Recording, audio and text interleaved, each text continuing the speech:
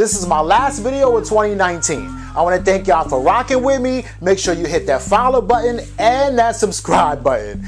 Peace, y'all. Jonny Fastlane here. So, 50 Cent and French Montana go in on each other, and Conway the Machine says he should be getting the same recognition as Kendrick Lamar and J. Cole. Plus, Joe Budden calls Charlamagne a biter. Let's talk hip hop. Yo, so apparently French Montana got time today, right? Because he's competing with 50 Cent in the Petty Olympics, and I feel like French Montana might have got one up on 50 Cent and is actually a little bit more petty than 50 Cent right now at this point in time, right? So y'all know the whole situation is yesterday French Montana put a video on his Instagram, right? He didn't say nothing about 50 Cent. He wasn't even thinking about 50 Cent, right? He was just like, yeah, I'm the first nigga with this new Bugatti in New York. I got this toilet paper paper. I'm shitting on you niggas, right? 50 Cent saw it, and 50 Cent did buy a Bugatti a couple weeks ago, but it wasn't the same Bugatti that uh, French Montana has, right? But 50 Cent did buy a Bugatti that was the same color as French Montana. Well, but 50 Cent had it the color of that Bugatti first, right? So, of course, 50 sees it, and he goes on his Instagram to try to troll um, French Montana. This was yesterday, right? Um, basically saying, like, you're not the first one. That's an old ass car. That's a 2010 Bugatti, blah, blah, blah, right? Um, and and French Montana kind of got back at him, calling him a dinosaur, calling him old, saying, you know, I got mad money and all that, right? And that was the end of it, right? But of course, you know that 50 Cent isn't going to just leave it there. He does not let anybody get the last word in, right? So 50 Cent then responds to French Montana and calls him Wrench Montana, right? So he's like 50, um, French Montana, you know the vibes uh, with those old joints. Get your weight up, nigga. You still working for Puffy, right? And he posts up this picture right here, right? French Montana sees that and responds to uh, 50 Cent with this picture of him looking like real sick and everything like that, looking like uh, he has HIV or whatever. Now, this picture right here is actually from a movie that 50 Cent was starring in, where he played a college basketball, uh, uh sorry, a college football player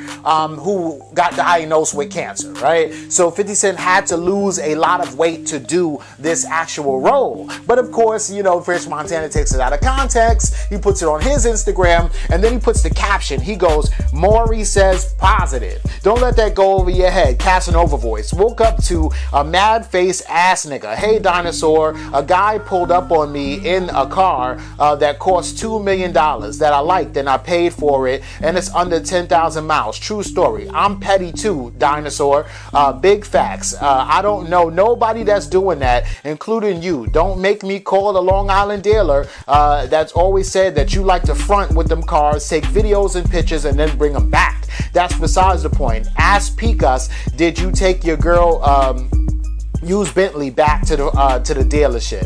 Um, I found out, and you found out I was yelling "hi" in your girl's car, right? Um, don't make me prove it. He says in quotation marks, and then he says, "Oh, and the last thing, stop dragging Power Dog. It's over, you dinosaur. No friends. Director playing with your booty, whole ass donkey, five times bankrupt donkey ass, right? So he's going in on 50 Cent, right? And of course, if you gonna do that, well, to 50 Cent, 50 is obviously going to respond, right? So of course 50 Cent does respond to what French Montana says, right? And basically puts up this clip of this video, right? And what y'all need to know is that this is crazy because it just so happens that I don't know if this is all promotion for Pop Smoke, but it just so happens that Pop Smoke and uh, Travis Scott dropped this video last night, right? So 50 Cent sees this and he's like, yo, Pop Smoke was smoking in your car already, right? And you talking about you the first one in New York to have this, but obviously at least Pop Smoke had it first, right? So that was crazy too, right?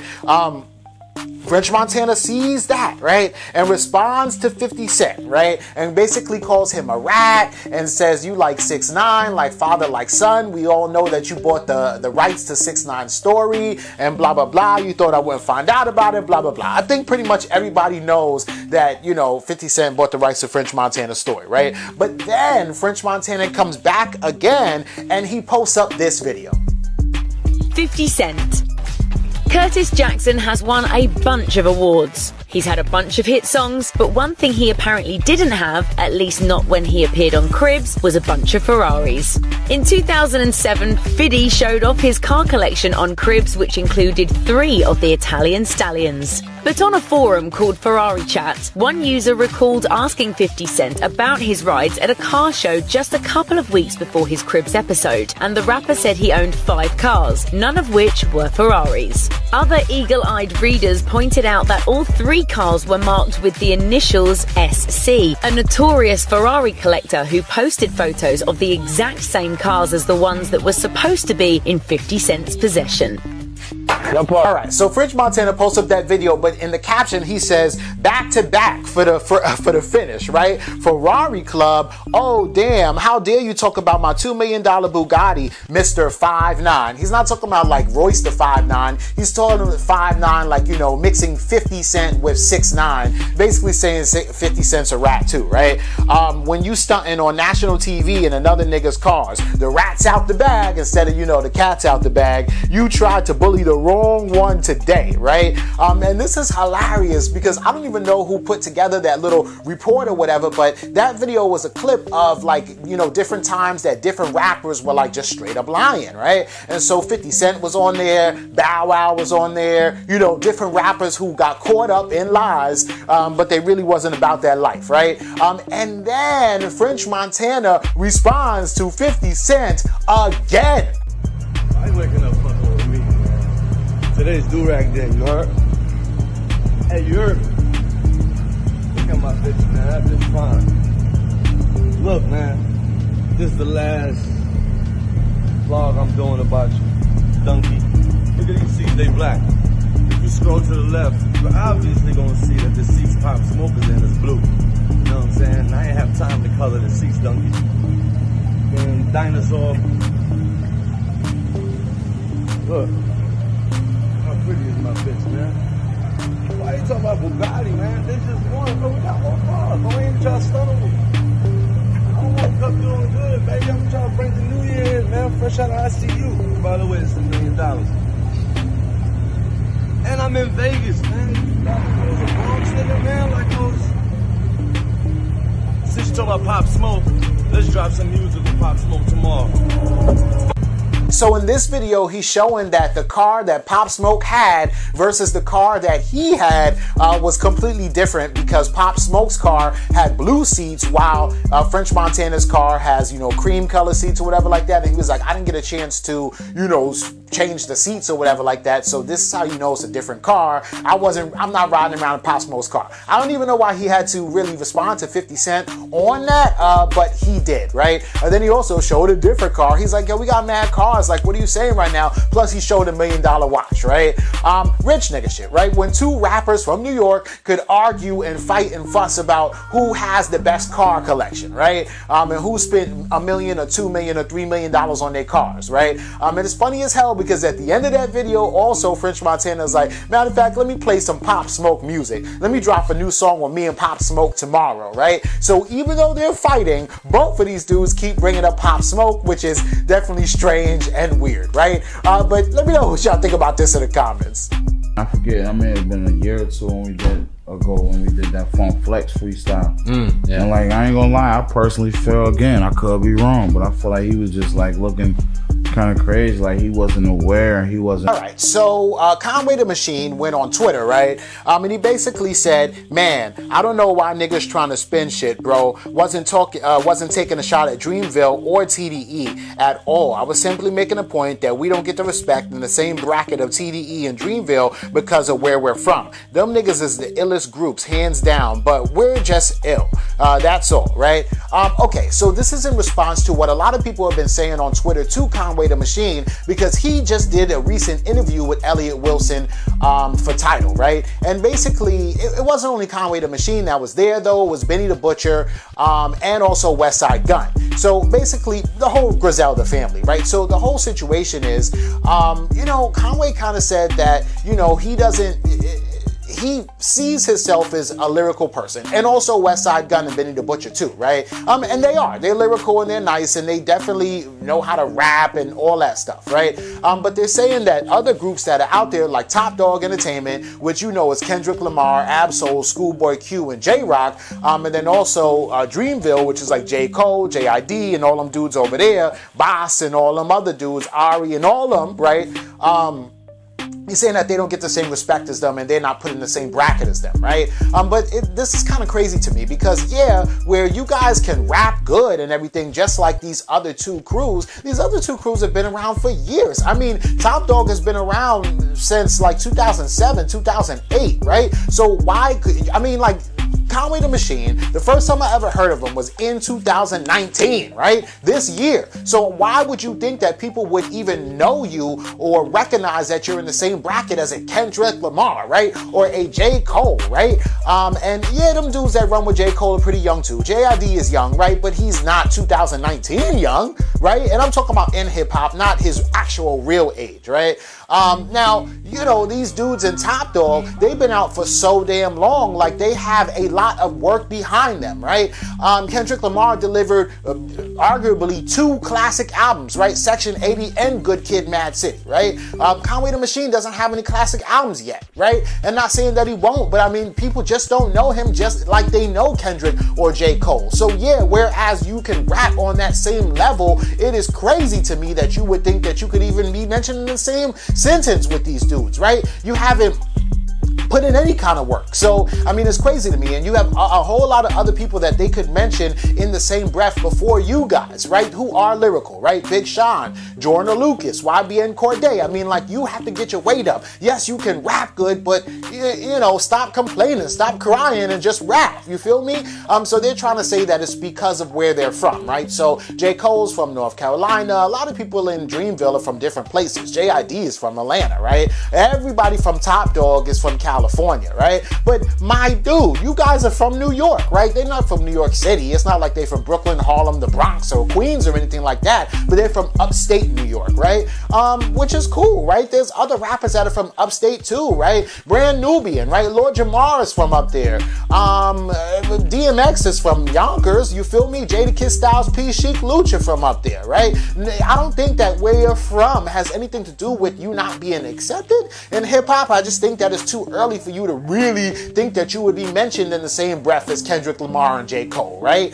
Um, but hey, that's just me, right? Um, let me know what y'all think about this in the comments. So that lets you know they Oh, yeah, really. you did your meat pull up. I forgot. That was like, stop it.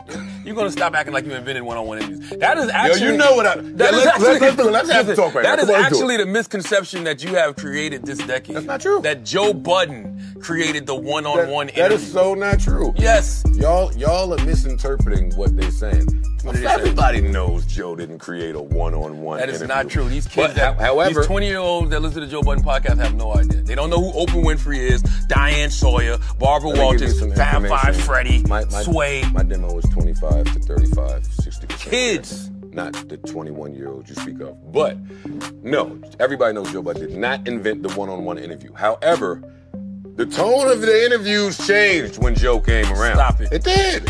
Tone of the, The interviews tone, the tone changed. You niggas stop asking them fucking generic ass questions. Stop Y'all it. start trying to get deeper Stop with it. shit. Charlamagne, yeah. fir- in any interview, Charlamagne has never asked generic questions. That's how Charlamagne is Charlamagne. And number two, when I took All right, so that was Joe Budden and Charlamagne, right? So at the year, at the end of the year, every single year, which is crazy, right? Joe Budden like comes down from like his kingdom, and Charlamagne comes down from his kingdom, and they get together and they do like a little pull-up episode, right? Well, not little, right? Um, and the funny thing about it is that the first time I ever seen a pull-up was when Joe Budden kind of pulled up on uh, Charlamagne, and they kind of did a one-on-one interview. They've been doing it for a few years now, right? Um, and this is a clip from this year's pull-up that they did for 2019, uh, basically wrapping up the whole year. And they were talking about a lot of stuff and whatever, right? But the whole situation is between Joe Budden and Charlamagne because they do respect each other, and I'm sure that they're friends, but they're also in competition with each other, and it's just so dope and it's healthy competition. So of course Joe Budden called Charlamagne out on his shit, right?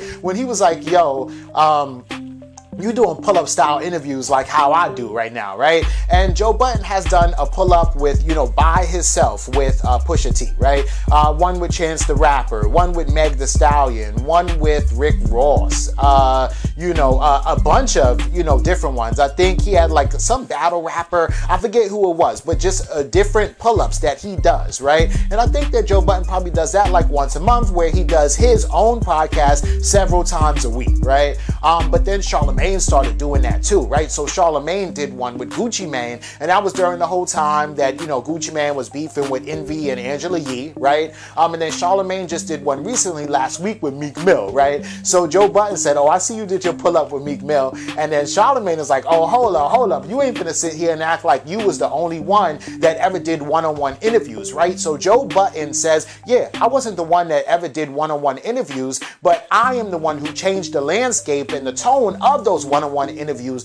Basically, I stopped, you know, throwing out all those generic questions, right? And Joe Budden is basically saying that he made the one on one interview a little bit more like a conversation between two people just kind of talking and everything. Um, but of course, you know, getting those questions off and getting the information out of the artist, but just in like a different weird way, right? Charlamagne is like, I beg to differ, bro. The reason why Charlamagne Charlamagne is because I never asked generic questions in my entire life, right? That's why I am who I am, right? I mean, Joe Budden was like, yeah, yeah, yeah, whatever, right? But this whole situation was funny because Joe Budden kind of had to call him out on his shit. Now, I'm not saying that Charlamagne is like biting Joe Budden, but definitely just the even just the, the way that they film it, the editing. Um, yes, the the kind of where you're just like in a different spot. He was chilling with Meek Mill. It looked like they was like in an airport at night or something like that. Um, and it's just like different locations that they go to. You know, um, Joe Budden had Rick Ross like on a roof or something, right? Um, and he had Tory Lanez. It looked like they was on set the set of State of the Culture, but it was just them too, right? Um, it's just like different weird like ominous, you know, locations that they would be in. And it's kind of weird because, yeah, it kind of seems like Charlamagne took a few pointers from Joe Budden when he, you know, did the Gucci Mane interview and the Meek Mill interview, right? Um, but it's all like in good fun and good competition. And it was just funny how, like, Joe Budden, the reason why I like and respect him is because if he has like some kind of issue with you, if not like crazy beef issue, but like a professional issue, he gonna call you on your shit, right? And he gonna see like what are you gonna say about it, right? So it's cool. And Charlamagne is the same type of dude, right? So it all kind of works out, right? But um, let me know what y'all think about this. Uh, don't forget to like, comment, share, subscribe. Make sure you hit that notification bell. Follow me at Jonny Fastlane on Instagram, and y'all already know what to do. Peace.